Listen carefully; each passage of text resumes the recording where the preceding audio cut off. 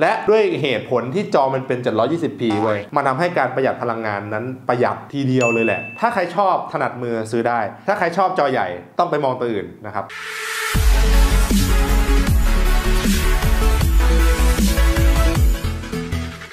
สวัสดีครับคุณผู้ชมวันนี้เรามาพบกับการรีวิว Xiaomi A3 นะครับตัวนี้เป็น Android One ซึ่งตอนนี้ที่เป็น Android One ในประเทศไทยก็จะมี Nokia Xiaomi Moto ประมาณนี้ Android One แต่ละค่ายก็จะแตกต่างกันไป แต่ที่เหมือนกันนั่นก็คือการใช้งานทั่วไปนะครับมันก็จะเป็นแบบว่าเพียวๆหน่อย เพียวๆหมายถึงว่ามันจะมีแต่แอปแบบ Google แล้วก็ไม่ได้ปรุงแต่ง UI อะไรเพิ่มมากขึ้นนะฮะประมาณนั้นแหละนะครับใช้งานลื่นไหลอะไรประมาณนี้นะครับตัวนี้สเปคหรือว่าจุดเด่นหลักๆ เลยก็คือ มันมี IR Blaster มาให้ แล้วก็ส่วยมากครับรูปทรงเขาทำมาสวยจริงๆรุ่นนี้มันจะเป็นตัว S ไขว้กัน 2 อัน ถ้าเกิดใครอยากดูแบบว่าสวยงามหรูหราปาร์ตี้โก้หรูกิ๊บเก๋ฟุ้งฟิ้งกระดิ่งแมวกระทิงเปลี่ยวแล้วแล้วก็นะฮะก็แล้วแต่จะพูดไปนะครับผมไปดูได้ที่คลิปพรีวิวครับผมเราก็จะไม่พูดเรื่องรูปทรงแล้วประมาณนี้แหละไอ้รูเสียบหูฟังหูฟังอะไรเนี่ยมีครบเหมือนเดิมมีกล้องมาให้ 3 ตัวนะครับมีกล้อง 48 ล้านพิกเซลแล้วรูปทรงก็ถือเข้าถนัดมือใครที่ชอบจอใหญ่ จุดนี้คุณต้องพิจารณาเพราะว่าจอมันเล็กนิดเดียว พวก Android One หรือพวกอ่าเป็น Google Pixel เนี่ยเขาจะมี 2 ขนาดถูกไหมจะเป็น Pixel 3และ XL มันจะมีให้เลือกขนาดแต่ตัวนี้ครับถ้าเกิดจะเล่น Android One เป็นแบบเน้นคลีนคลีนหน่อย เดี๋ยวจะพูดเพียวไม่ได้จะเป็นดราม่านะฮะ เอาคีนแล้วกันนะครับ เป็นคีนอย่างนี้ก็คุณจับได้ คุณก็เลือกเอาว่าคุณจะเล่นโมโตโนเกียหรือเสี่ยวมี่เสี่ยวมี่ก็จะมีจุดเด่นของเขาอะกล้องหน้าก็จะแบบดีกว่าชาวบ้านเขาถ้าพูดถึง Android One นะ มันน่าจะดีที่สุดแล้วแหละ เพราะกล้องหน้าตัวนี้ให้มา 32 ล้านพิกเซลนะครับ ให้มันเยอะมากเลยนะ แล้วเราไปลองถ่ายกันแล้ว มีขาย 2 ขนาดด้วยกัน ขนาดแรก RAM 4 Storage 64 นะครับตาร์ทที่ 6,990 นี่คุณก็ได้ Android One อัปเดตแน่นอน 2 ปี และอีกตัวหนึ่งก็คือ RAM 4 Storage 128 128นี่จะอยู่ที่ 7,990 ทีนี้ไอ้จุดหนึ่งที่สเปคพอเปิดออกมาแล้วเฮ้ยเป็นข้อคอรหากันเหลือเกินนะฮะว่าหน้าจอมันเป็น HD เนี่ยมันเป็นยังไงบ้าง โดยส่วนตัวนะผมหน้าจอสวยจอเนี่ยไม่ได้ว่าตรงมากเขาเน้นสีสันสดใสคือคือเน้นแบบเน้นเรื่องมัลติมีเดียมาก่อนนะครับเพราะว่าเลทราคานี้คุณไม่ต้องเอาไปแต่งรูปหรอกนะ เอาเป็นว่าสีมันเข้มกว่าทั่วไป ถ้าให้เทียบได้คุณให้นึกถึงพวก Galaxy S5 ประมาณนั้นแหละอืมมันจะไม่มีโหมดเพื่อปรับหน้าจอเพื่อให้สีมันดรอปลงแต่อย่างใดนะครับแล้วก็ตัวแถบ notification ก็จะมีกันแค่นี้ ไม่มีอะไรมากนะครับ ฉะนั้นถ้าเกิดคุณชอบแบบ clean clean ก็ซื้อได้ แต่ถ้าเกิดคุณชอบแบบปรับแต่งแบบมีเฮ้ย Wi-Fi ห้องสปอร์ตมีอะไรแบบจิ้มจิ้มเอาอย่างเงี้ยมันก็ต้องมาปรับตรงนี้แล้วมันแบบว่ามันจำกัดแค่ไม่กี่แอปพลิเคชันแค่นั้นนะครับ แต่ส่วนมากคนที่ใช้คลีนคลีนแบบนี้มันไม่ได้มีอะไรมากนะครับผม ทีนี้พูดถึงเรื่องจอจอตัวนี้เป็น AMOLED แบบ 720p นะจ๊ะให้มาขนาด 6.088 นิ้ว ไม่รู้จะอินดี้ไปถึงไหนนะครับ 6 นิ้วในขณะเดียวกันที่เลทราคาประมาณเนี้ยมันจะไป 6.4ถ้าใครชอบถนัดมือซื้อได้ ถ้าใครชอบจอใหญ่ต้องไปมองตัวอื่นนะครับ แต่ว่าเท่าที่ผมใช้มานะ ผมก็รู้สึกว่ามันมันยังเล็ก เพราะว่าผมชินในพวกจอ 6.4 6.38 6 อะไร มันจะมี vivo samsung oppo อะไรพวกนี้นะครับ แต่ถ้าเกิดว่าใครชอบแบบพอดีมือ คุณก็ต้องซื้อตัวนี้แหละ มันพอดีมือ มันจับเข้าชักออกกางเกงเนี่ยสะดวกดีนะ ในอันนี้ในเรื่องของหน้าจอนะครับ อันนี้อยู่ที่ปัดเจกทีนี้หน้าจอ 6 นิ้วกับไอเขาเรียกว่าความละเอียดมันเนี่ย มันหยาบไหม เอาโดยส่วนตัวนะ ถ้ามองครับ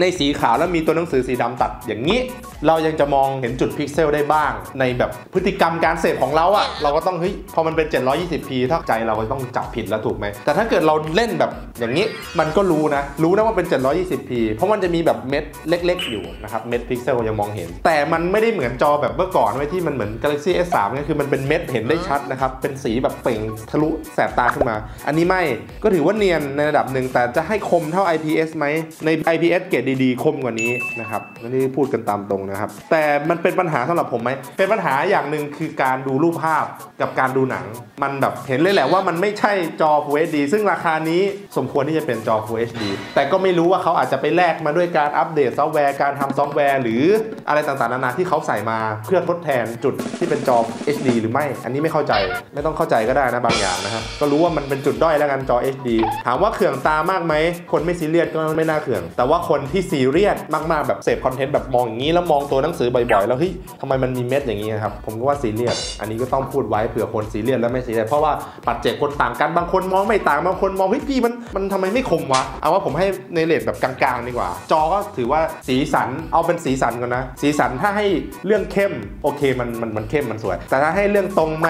สบายตาไหมก็คงไม่คงไม่สบายตาเท่าไหร่เพราะมันเป็น AMOLED แบบแยงตาขึ้นมา น่าจะต้องใช้โหมดช่วยในการแบบ save ตาหน่อยหนึ่งเพราะว่ามันมันแสบตาซะเหลือเกิน แล้วจอตัวนี้นะครับ ผมเอาไปเทียบกับพวกตัวท็อปเลยนะ S10 พัด Note 10 พัด เทียบลงแดดเนี่ย โอ้โห จอมีความสว่างอย่างดี เป็นรองอยู่นิดเดียวเท่านั้นนะครับ เท่าๆกันเลยนะครับ นั่นหมายถึงว่าถ้าเกิดคุณเอาไปใช้ในการแบบเป็นวิศวกรหรืออะไรกลางแจ้งเนี่ยสบาย เพราะว่าจอมันสว่างนะครับแต่อย่างที่บอกไปมันดู Netflix 720p หรือดู YouTube ยิ่งเป็น YouTube ช่องเราที่มีตัวหนังสือเล็ก ๆ หรืออย่างเงี้ยกล่องเสี่ยวมีหรือตัวหนังสือเล็ก ๆ มีขึ้นมามุมมาอะไรเงี้ยครับมันจะดูแตกต่างจาก Full HD แน่นอนครับ ยิ่งเป็นจอเล็กด้วย ดูต่างกันแต่ถามว่าซีเรียสไหมไม่ซีเรียสแต่ถ้าคนซีเรียสก็สิอะพูดถึงเรื่องจอเนี่ยนานซะเหลือเกินเพราะว่ามันมีแบบประเด็นอยู่ไงอืมแล้วก็จอตัวนี้ก็เป็นติ่งนิดนึงรูปทรงอย่างที่บอกไปฝาหลังสวยนะครับ แต่ข้างหน้ามันจะเว้นขอบหนา อันนี้ถือเป็นข้อพิจารณาไหมผมว่าเป็นข้อพิจารณาอย่างหนึ่ง เพราะว่าแบรนด์อื่นเนี่ยมันขอบบางกันหมดเลยนะครับแต่ตัวนี้ก็ไม่แบบมันมันไม่ได้หนาแค่ข้างล่างเว้ยข้างบนมันก็หนา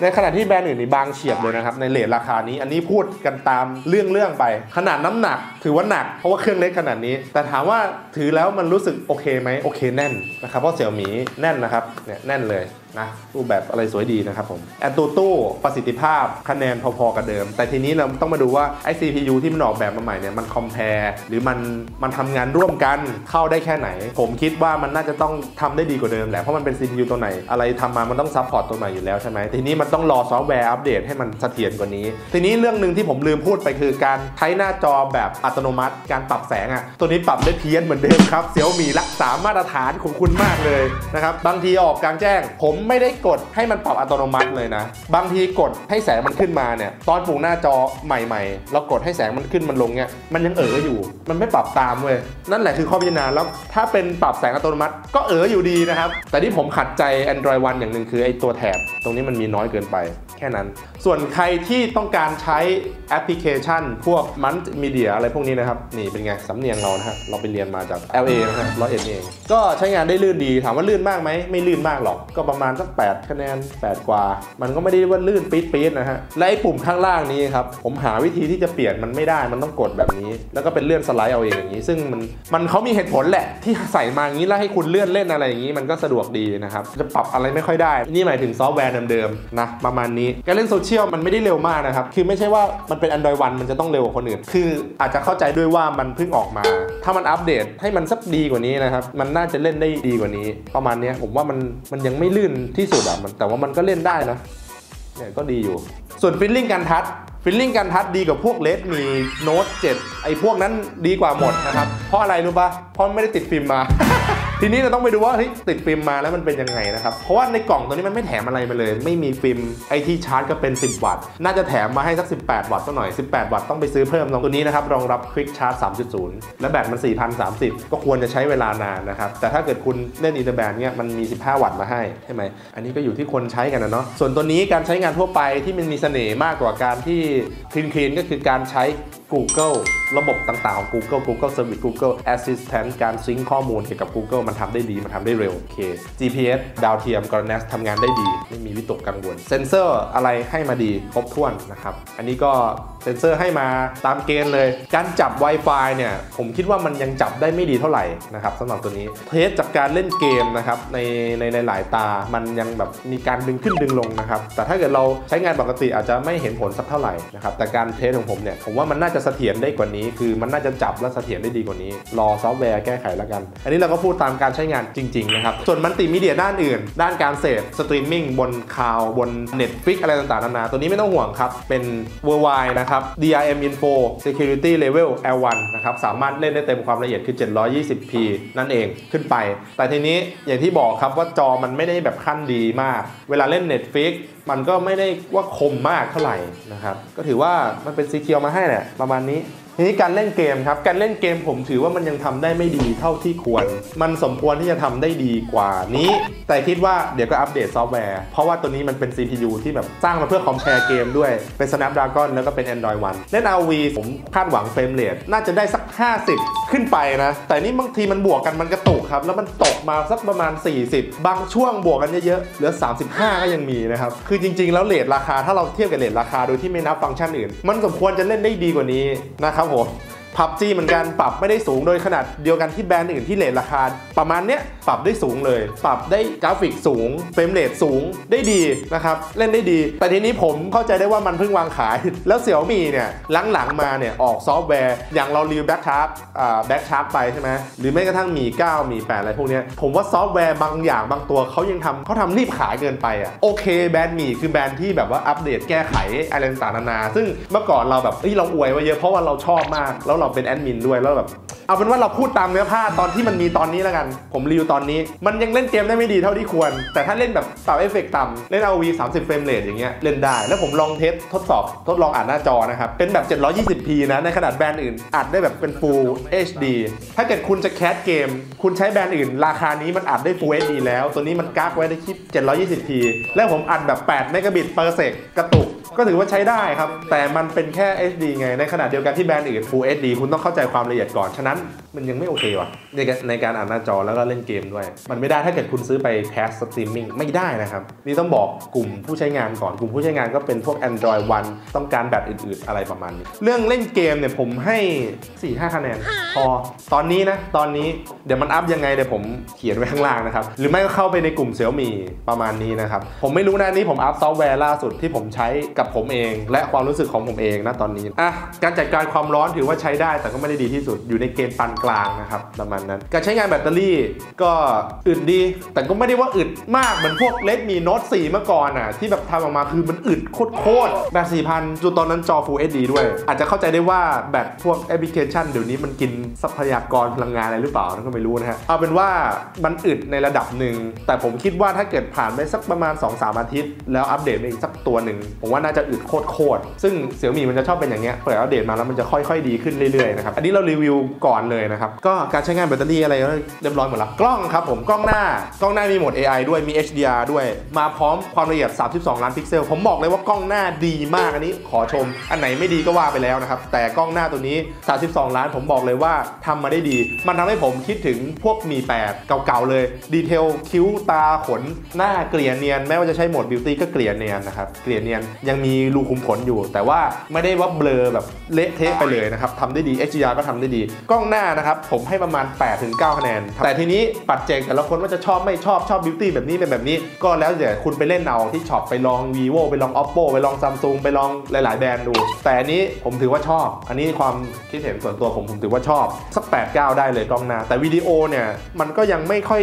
ดีให้สัก 6 คะแนน ไมค์ตัวนี้ทำมาดีแล้ว อีกอย่างหนึ่งลืมพูดตอนที่ test ไมโครโฟนแล้วก็มีลำโพงขึ้นมา test เสียง test อะไรเนี่ยลำโพงเขาก็ถือทำอยู่ในเกณฑ์ที่ประมาณ 7 คะแนน คือมีทำลำโพงมาในเกณฑ์ที่แบบ ไม่มีให้เราว่าเลยด้วยตั้งแต่ไหนแต่ไรตั้งแต่ Xiaomi Redmi Note 4ตั้งแต่นั้นมาตั้งแต่รุ่นเก่าๆมาเลยครับ rate ราคาต่ำๆอย่างเลนมีโน้ต 2A เลนมีโน้ต 5A เลนมีโน้ตเลนมี5อะไรพวกเนี้ยผมจำชื่อไม่ค่อยได้ สมองเบลอเพราะเธอบอกว่าเลิกกันนะ ประมาณนั้นลำโพงก็ไม่ได้ทำให้เราว่ามากนัก แต่ตัวนี้ไม่ได้ทุ้มเหมือนไอ้พวก Redmi Note 7มันจะมีเสียงแบบแหลมๆ แต่มันก็มีเขาเรียกว่าเสียงพอดี แต่ไอ้พวก Redmi Note 7อะไรพวกนี้ลำโพงจะดีกว่านี้นะครับ อันนี้ผมให้ประมาณ 7 คะแนน ถือว่าไม่ได้ต่ำกว่ามาตรฐานถือว่าโอเคใช้ได้ดีนะครับผม การเสียบหูฟังอะไรก็ฟังได้สักประมาณ 7 คะแนนนะครับดี ทีนี้วิดีโอก็อย่างที่บอกไปมันก็ยังมีแบบเฟรมเรทที่มันไม่นิ่ง แต่ว่าเสียงมันก็ยังพอใช้ได้ ซึ่งก็เนี่ยจุดนี้แหละ แล้วก็โหมดอะไรมันไม่มีเลยนะครับโหมดมันไม่มีอะไรเลย แต่ว่า UI ของกล้องมันจะไม่เหมือน Android One ของตัวอื่น เพราะว่าตัวนี้มันยังคงเอกลักษณ์ของ Xiaomi อยู่ มันยังเป็นเอกลักษณ์ของกล้องเห็นปะนี่มีถ่ายภาพบุคคลถ่ายรูปภาพอะไรอย่างนี้นะครับกล้องหลักกล้องหลังครับถือว่าทำได้ค่อนข้างดีนะครับผมให้เลยประมาณ 8 คะแนนค่อนข้างดีนะฮะโหมดต่างๆ AI อะไรพวกนี้ทำงานผสานกันได้ดีหยิบยกขึ้นมาเนี่ยประมวลผลได้ดี เก็บชัตเตอร์ไม่ค่อยเร็ว มันจะ lag กึกหนึ่งซึ่งบางทีแบรนด์อื่นมันกดปุ๊บมันติดไปแล้ว อันนี้มันมันชะงักงึกหนึ่งมันถึงจะเก็บ ซึ่ง feeling ที่ทำให้เรารู้สึกว่ามันลื่นไหลมัน drop ลงตรงนี้ก็ต้องบอกกันไว้นะฮะ และตัวนี้ครับ มีเลนส์ ultra wide แบบ 8 ล้านพิกเซล ซึ่งจะเท่ากับพวก Galaxy A50 แต่ผมบอกเลยว่าคุณภาพโคตรต่าง ไม่ดีเลย ผมไม่ชอบ มันไม่ละเอียดถ่ายกลางคืนก็ไม่ได้ดีฮะเอาว่าเดี๋ยวผมเอาตัวอย่างภาพขึ้นมาความคิดส่วนตัวผม แล้วผมลองเล่นมาจากอันต้าวายในราคาเลทประมาณเนี้ยผมให้มันผมให้มันไม่โอเคอะเอางี้ดีกว่านะครับ คือขนาดถ่ายตอนเช้าอะ ความคมมันยังไม่คมเลยอะมันแบบเออเดี๋ยวรูปขึ้นมาให้ดู เอาเป็นว่ามันเอาเป็นว่ามันควรจะดีกว่านี้อะผมไม่ใช่คนเรื่องมากอันไหนอารมณ์อร่วยได้ผมอารมณ์อร่วยใช่ไหมแต่นี้ผมว่ามันต่ำกว่าเกณฑ์ไปหน่อยอะเออประมาณนี้ตัวนี้มีโหมดกลางคืนช่วยด้วยนะครับโหมดกลางคืนไม่สามารถใช้เลนส์ตาไวด์ได้ใช้แค่เลนส์หลักได้อย่างเดียวแล้วก็อย่างที่บอกไป แล้วก็โหมดกลางคืนเสี่ยมีเนี่ยผมว่าค่อนข้างทำได้โอเคอยู่แค่นั้นแหละอะมาดูโหมดโปรครับโหมดโปรมี ISO ปรับได้3,200 Speed Shutter ปรับได้เยอะอยู่เนี่ย32 วิประมาณนี้นะครับก็ประมาณเนี้ยโหมดมันไม่มีอะไรมากนะครับ มีวิดีโอวิดีโอสั้นนะวิดีโอเนี่ยก็อัดได้ 1080p แล้วก็กล้องหลังอัดได้แบบ 4K 30เฟรมเลยอย่างที่บอกไปว่ากล้องหลังอะมันเป็นกล้องที่ผมว่าประทับใจนะครับแล้วระหว่างการอัดวิดีโอครับคุณไม่สามารถที่จะเปลี่ยนโหมดได้ สมมติว่าผมใช้ ultra wide อัด ไม่สามารถที่จะเปลี่ยนเป็นเลนส์ normal เลนส์ซูมได้ คุณต้องปิดก่อน แล้วคุณก็มาเปลี่ยน นนี้เป็นธรรมดาอยู่แล้วทุกแบรนด์เป็นแบบนี้ในราคาเรทเท่านี้ คุณภาพของวิดีโออะกล้องหลังผมว่าใช้ได้เลยนะฮะแต่ว่ามันมันก็ยังไม่ได้ดีเทียบเท่า inter brand นะผมให้สักประมาณ7คะแนนได้นะครับ เสียงถือว่าดีแต่ไม่ได้ดีมาก frame rate มันยังมีแบบกระตุกกระตุกอะแล้วตัวนี้อัดแบบ Full HD 60 frame rate ได้นะครับอะเดี๋ยวจะอัดให้ดูนะครับนี่แต่การโฟกัสมันอะ การโฟกัสมันผมต้องติอย่างหนึ่งคือมันดึงปุ๊บปุ๊บปุ๊บอย่างนี้เดี๋ยวทำให้ดูดึง ดึงแรงไป มันไม่ smooth อะ อันนี้ไม่ใช่ว่าจะหาข้อติได้ทุกอย่าง คือแบรนด์อื่นมันไม่ดึงแบบนี้ ถ้าแบรนด์ไหนดึงแบบนี้ก็จะว่ามันดึงแบบนี้ ถือว่ามันโอเคมันดึงไว้อะแต่มันดึงแบบตึกตึกตึกอะก็ถือว่าใช้ได้ครับ quality detail แต่ว่าจะสู้ inter brand ได้ไหมไม่ได้ครับนี่ก็คือเรื่องของวิดีโอกล้องหลังผมให้สักแปดกล้องหลักมันถ่ายดี แต่ตาวายอะกล้องหลักมันสวยเลยนะสวยจริง ๆ ครับ แล้วก็กล้องหลักกับกล้องหน้า 8 9 แต่กล้องหลักกล้องหลังผมให้ประมาณ7ถึง8คะแนนประมาณนี้นะครับมีโหมดช่วยคือโหมดกลางคืนก็ทำให้ดีขึ้นมาหน่อยครับแล้วก็อันตาวายกล้องหลังควรจะปรับปรุงซอฟต์แวร์หน้านะครับ Xiaomi ให้ดีกว่านี้ ก็ประมาณนี้ไม่มีอะไรแล้วนะครับใครที่อยากเพิ่มเติมอะไรครับเม้นกันมาดีๆนะครับผมประมาณนี้แหละนะครับ ยังไงก็ขอฝากเซี่ยมี A3 ไว้ด้วยนะครับ ยังไงขอขอบคุณนะครับ ร้านไทยซูเปอร์โฟนที่ส่งมาให้เราเล่นกันด้วยนะตัวนี้ไปดูในกลุ่ม หรือดูการอัปเดตต่างๆนานาดูรีวิวคนอื่นด้วย ไม่ต้องเชื่อเรา100%หรอกนะครับ เพราะว่ามันเป็นความรู้สึกของเราที่เราเล่นมาแล้วเทียบกับเรทราคานี้มันประมาณนี้ อันไหนดีก็คือกล้องหน้ามันดีไงระบบมันดีกว่าตัวอื่น แต่อย่างที่บอกไปอะเล่นเกมเล่นอะไรรออัปเดตสำหรับวันนี้ผมขอฝากเซี่ยมีมี A3 มาไว้ณตรงนี้ด้วยนะครับผมสำหรับวันนี้ไปแล้วครับ สวัสดีครับ Please.